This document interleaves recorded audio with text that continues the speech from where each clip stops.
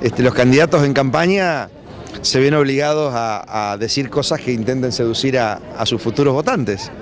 ¿Cuál es la inversión real y en qué obras se han hecho? A ver, no tengo acá la, información. Leí un informe, leí en, base a eso. Si querés, ahora apenas termino, te doy copia incluso.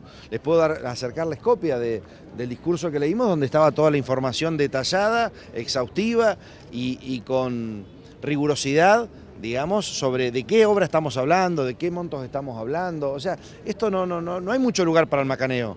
La obra se hizo o no se hizo, se pagó o no se pagó. A ver, y la hizo Nación, la hizo provincia, la hizo municipio. A ver, son datos, expedientes que son fácilmente comprobables. ¿Qué opinión le merece lo que dijo el ministro Gastaminza de la inversión que realizó el EPAS en la ciudad, que es una cifra millonaria?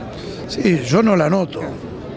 De hecho, esta mañana, antes de venir al acto, estuve recorriendo hasta la calle Foteringham, donde parecía este, el río Carcarañá, más o menos, este, la cantidad de agua que, caía. El tema es el siguiente. Hay un estudio hecho en el año 1985 que modificar el sistema de captación de agua llevaba implícito llevar adelante una tarea de readecuación de redes. Se olvidaron de lo primero. Entonces ahora tenemos permanentemente problemas. De todas formas, el EPAS es una empresa que cobra una tarifa por el servicio, eh, empresa que presta el servicio, por lo tanto, es la que tiene que llevar adelante las inversiones. Si el EPA fuera municipal, nosotros nos encargaríamos de hacer todas esas inversiones. Por otro lado, se hizo mención a los recursos de la ley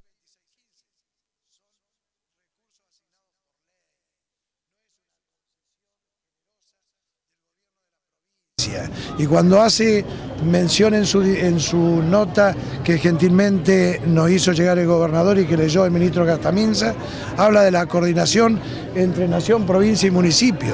En realidad, Nación no gastó un solo centavo en la ciudad de Neuquén, no ha invertido nada, todavía no debe plata de las viviendas, no debe plata de la redeterminación de precios de algunas obras, como el entubamiento del Villa María, como el entubamiento y el sistema eh, de, de, eh, de Alguiliche, pluvio aluvional, este, y la provincia, si bien es cierto que producto de la ley 2615, que no dejan de ser recursos de la provincia, son recursos del municipio. Es lo mismo que la ley 2548, no son recursos de la provincia, son recursos que le corresponden al municipio eh, por ley.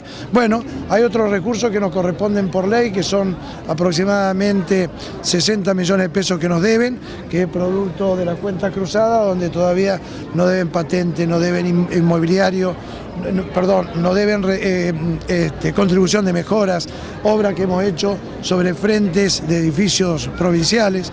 Así que se imaginan que la deuda es prácticamente todos los recursos de la ley 2615.